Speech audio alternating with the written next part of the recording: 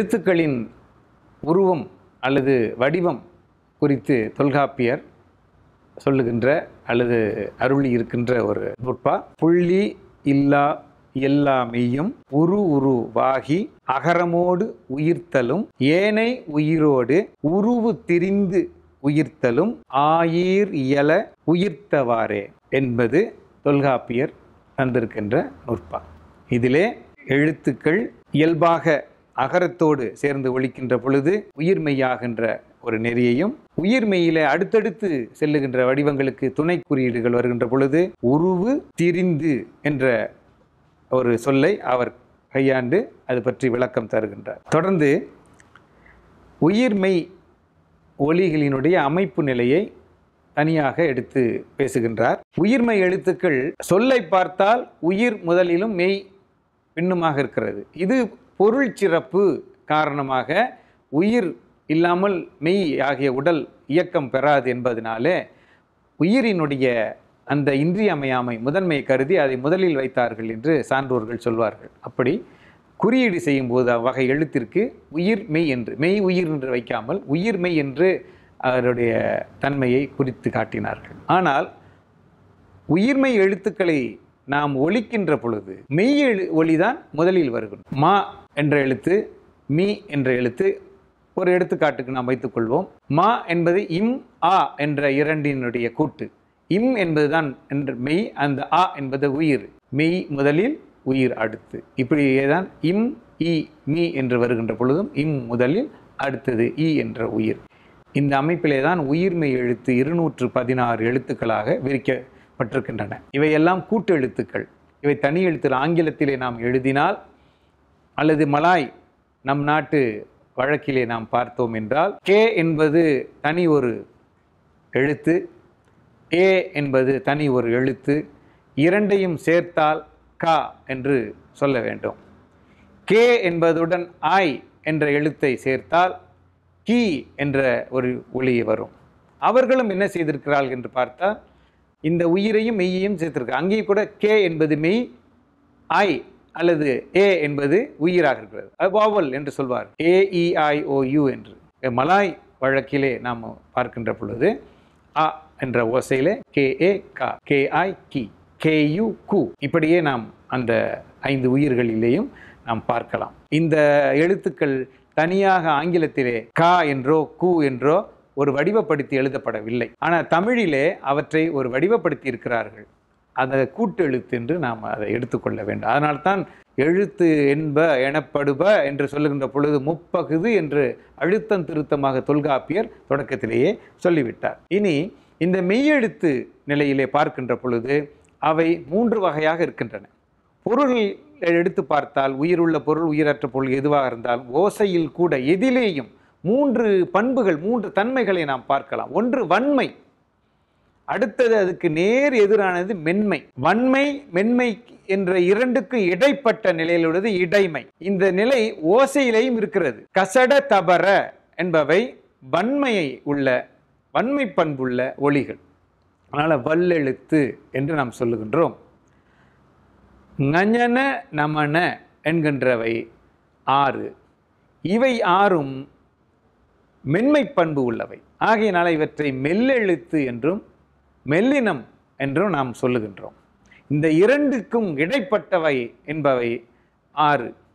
வல்லினம் ஆறு மெல்லினம் ஆறு இரண்டுக்கும் இடைப்பட்ட இடையினம் என்பதும் ஆறாக இருக்கிறது. எனவே எரள வழல என்று வருகிறது.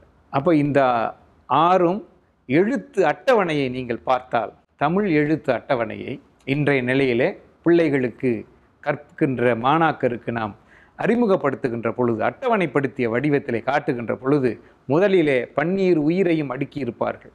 அகரம் தொடங்கி அவுகாரம் ஈராக பன்னிரெண்டும் அடுக்கப்பட்டிருக்கும். இந்த புறத்திலே மெய் பதினெட்டும் தொடர்ந்து வந்திருக்கும். இந்த மெய் உயிர் ரெண்டு சேர்ந்தோன்னே மற்ற உயிர்மெய்களாக இடையிலே வரும். இந்த எழுத்து அமைப்பை உயிர் வரிசையை விட்டு அடுத்து இந்த ஆறையை நீங்கள் அந்த பதினெட்டையும் பார்ப்பீர்கள் என்றால் ஆறு ஆறு ஆறு மூவாறு பதினெட்டு. என்ன அழகாக அந்த ஓசைகளை ஒரு தற்செயலாக அமைந்ததோ இல்லை வேறு திட்டமிட்டு இதை எப்படி செய்தார்களோ என்று நாம் அதை சொல்ல சொல்வதற்கு இல்லை. ஆனால் அமைந்திருக்கிறது அந்த அமைப்பு இருக்கிறது. ஒரு வடிவம் நன்றாக இருக்கிறது இனிமையாக இருக்கிறது நினைக்கும் போதே. ஆறு ஆறு ஆறு வன்மை ஆறு மென்மை ஆறு இடமை ஆறு. எடுத்து அடுக்கின்ற பொழுது அடிப்படை ஒரே ஒளியை அழுத்தமாக நாம் அதை ஒலிக்கின்ற பொழுது கேட்கின்ற ஓசை சிதறாமல் அப்படியே நின்றால் போல் நறுக்கென்று அப்படி நின்றாற் போல் இருக்கும். இக் அந்த ஓசையிலே வேறு எதையும் நீங்கள் சேர்க்கவும் இல்லை. எதையும் அந்த ஓசை அப்படி நின்று விட்டது வெளிப்பட்டவர்கள் அப்படி திடமாக நிற்கிறது. வன்மை. அதை மென்மையாக ஒலித்தால் இங் என்று கேட்டு ஒளி ஒன்றுதான் வன்மைப்படுத்திய வடிவமாக அது வருகின்ற போது இக் என்று கேட்கிறது. அதையே மென்மைப்படுத்திய பொழுது இங் என்று கேட்கிறது. இந்த நுட்பத்தை கண்டுபிடித்த நம்முடைய முன்னோர்கள் என்ன செய்திருக்கிறார்கள்? வரிசைப்படுத்துகின்ற பொழுது க ங வல்லினம் க மெல்லினம் ங க ங ச ஞ ச அல்லது என்பது அது வல் மென்மை ஞ என்கிறது மென்மை. அதாவது ட ண அதுவும் அப்படித்தான். டாவும் முச்சுளி நகரம். நா என்கிறதும் இள் என்கிறதும் ஒரே இடத்தில் தான் பிறக்கின்றன. அவை பிறப்பதற்கான பிறப்பியல் பற்றியெல்லாம் நாம் விரிவாக பிறகு பார்ப்போம். இது அட்டவணை என்ற நிலையிலே ஒழுங்குபடுத்தியவர்கள் எவ்வளவு தேர்ச்சி உள்ளவர்கள் எப்படியெல்லாம் இதை கண்டு இன்றைக்குள்ள கருவி நிலைகள் எதுவும் கிடையாது. அன்றைக்கு ஏதேதோ வகையில் இன்றைக்கெல்லாம் ஒளியை அளப்பதற்கு வழிமுறைகள் தோன்றிவிட்டன. தொழில்நுட்பங்கள் மிக உதவியாக இருக்கின்றன. அறிவியல் நமக்கு சொல்லி எண்ண முடியாத நிலையில் பேர் உதவியாக இன்றைக்கு வளர்ந்து நிற்கிறது. ஆனால் தொல்காப்பியர் காலத்திலே அவருக்கு முன்னாலேயே இந்த மரபு நிலை பெற்றது என்பதனால அவர் கண்டுபிடித்து இவற்றை சொல்லவில்லை. முன்னோர்கள் வழியிலே சொல்கின்றார் அவர். என்ப என்று அதனால் தான் சொல்லுகின்றார். முன்னோர்கள் என்பார்கள் என்ன முப்பது என்று சொல்வார்கள் எது? எழுத்து என்று சொல்லப்படுறது என்னன்னா முப்பது பா அது உயிர் மெய்யின்னு ரெண்டு வகை. அந்த ரெண்டு வகை சேர்த்தால் ப பன்னிரெண்டு பதினெட்டு முப்பது ஆகிறது. அதை இனம் பிரிக்கின்ற போது மெய் என்பதை அவர்கள் பிரிக்கிறார்கள். க ங ச ஞ ட ந த ந ப ம. வந்து இடையினத்தை இடையிலே வைத்திருக்கிறார்கள். ர ந என்கின்ற ஒரு வல்லின மெல்லின இணையை கடைசியிலே வைத்துவிட்டு இடையினம் என்ற பெயருக்கு ஏற்றாற்போல் அதை இடையிலே வைக்கிறார்கள். எரள வழல நீங்கள் எழுத்து அட்டவணை எடுத்து பாருங்கள். அழகாக அந்த வரிசை அமைந்திருக்கிறது. ஆங்கிலத்திலே ஏபிசிடி என்று அடுக்கி இருப்பதற்கு இப்படி ஒரு ஒழுங்கை சொல்ல முடியுமா என்றால் முடியாது. ஆனால் இன்றைக்கு நாம் முன்னோர் பெருமையை இங்கு சொல்லுகின்றோம். முன்னோர் வழியிலே அந்த பெருமையை காத்து மேலும் நாம் வளர்க்க தவறிவிட்ட நம்முடைய குறைபாட்டை மறந்து தமிழில் இது போல பழைய பெருமைகளை எடுத்து சொல்லிக் கொள்ளலாமே தவிர புதுமை புதிய நிலைக்கு புதுமைக்கு என்ன இருக்கிறது என்று யாரையோ நோக்கி கேட்பது போல நாம் கேட்டுக்கொண்டிருக்கின்றோம். அதை நாம் தான் செய்ய வேண்டும். முன்னோர்கள் செய்தது தான் நாம் சொல்லுகின்றோம். பின்னோர் நாம். நாம் நமக்கு பின்னே வரப்போகின்றவர்களுக்கு முன்னோராகத்தான் இருப்போம்.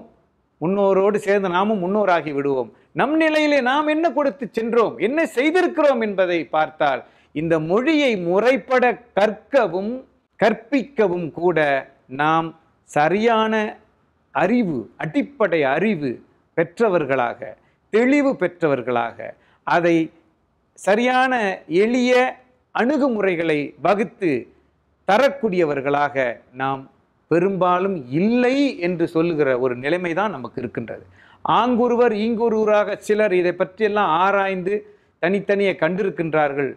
ஒருவருக்கொருவர் பரிமாறி இருக்கின்றார்கள். ஆனால் எல்லாருக்கும் பொதுவில் இந்த அறிவு சேர்கிறதா என்றால் சேரவில்லை என்பதை நாம் எண்ணி பார்க்க வேண்டும்.